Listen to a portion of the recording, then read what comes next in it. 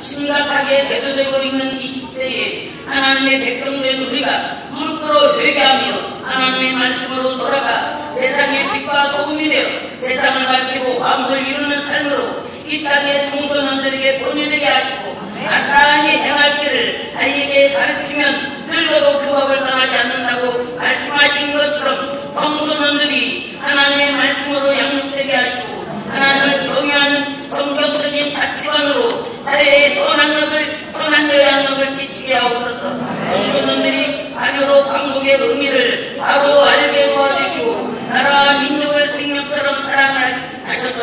든든한 이 땅에 그루터기를 되게 하시사 대한민국을 세계에 우뚝 세우는 다음 세대 되게 하옵소서. 물질 만능주의가 된 이 때에 물질 노예가 된 하나님과 멀어진 이세요 도덕이라고는 찾아볼 수 없는 악한 세대가 되었습니다. 주여 불쌍히 여겨줘.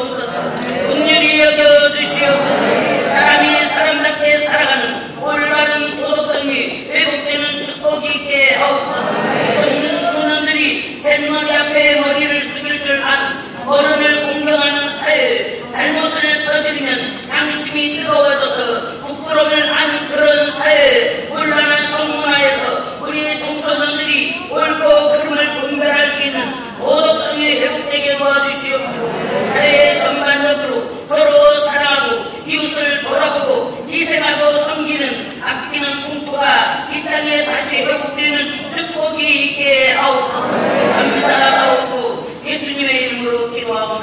Amén.